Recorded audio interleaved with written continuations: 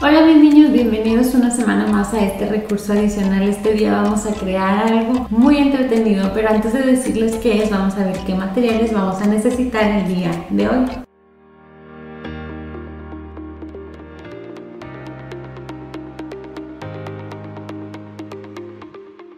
Este día vamos a necesitar nuestro cuaderno, nuestro lápiz. El elemento estrella del día de hoy son revistas o libros viejos o folletos donde podamos recortar, tijeras y pegamento y material para decorar, sobre todo para resaltar podemos usar nuestras crayolas o algún marcador negro. Una vez que ya tenemos todo el material por aquí cerca, vamos a empezar. Manos a la obra.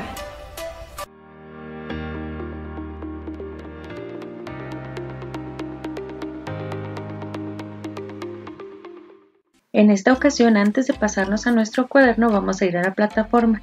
Vamos a abrir el icono de en clase y vamos a girar la ruleta. De esta manera vamos a saber exactamente qué tema nos va a tocar y de ahí vamos a realizar un dibujo ya en nuestro cuaderno. Giramos para que nos toque una estación y en esta ocasión me tocó animales. Ya que tengo la estación, ahora sí me voy a ir a mi cuaderno y voy a colocar los datos, nombre completo, título y fecha justo abajo del resorte. Como mi estación es animales, vamos a realizar un diseño simple, sencillo, pero grande. Obviamente respetando la estación que nos haya tocado. En esta ocasión a mí me tocó animales y voy a realizar unos flamingos. Algo así. Ahora, para la decoración vamos a necesitar revistas, muchas revistas. Específicamente en las revistas vamos a buscar las hojas que tengan mayor cantidad de los colores que necesitamos. Como por ejemplo, los flamencos son rosas y yo encontré estas dos hojas que tienen mucho color rosa. No importa que en el color rosa haya letras, ya que estas las vamos a recortar. Voy a iniciar por eliminar de mi hoja rosa esos cuadritos que no necesitamos pues tienen otro color diferente. Una vez que ya tenemos las hojas seleccionadas, vamos a empezar a cortar. Los cortes son completamente libres. Pueden ser triángulos, cuadrados, rectángulos, pueden ser todos uniformes o bien pueden ser una mezcla de diferentes figuras. Ustedes van a elegir. Recuerden, dependiendo de la hoja que hayamos seleccionado, antes de cortar debemos eliminar los colores que no necesitamos. Y también muy importante, si encontramos diferentes tonalidades de un mismo color, mucho mejor. Yo encontré dos tonalidades de rosa.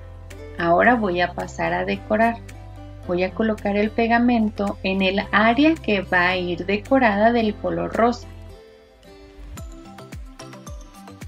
Iré colocando los papelitos de manera salteada.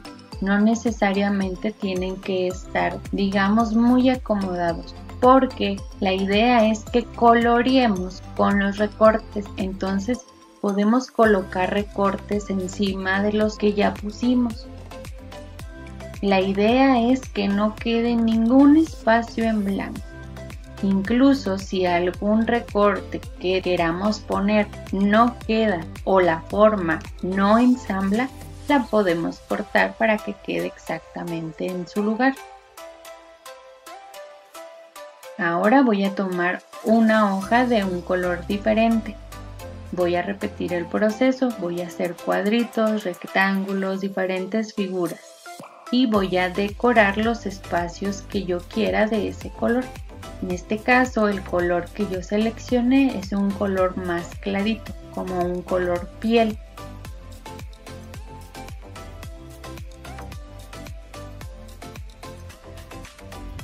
Haré lo mismo con todos los colores que mi diseño necesite, como el color negro, el color blanco, el color piel, el color rosa, todos los colores que necesite.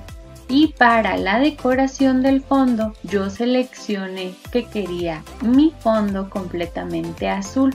Entonces busqué dos tonalidades de azul y antes de pegar corté las hojas para tener diferentes cuadritos, diferentes figuras de las dos tonalidades.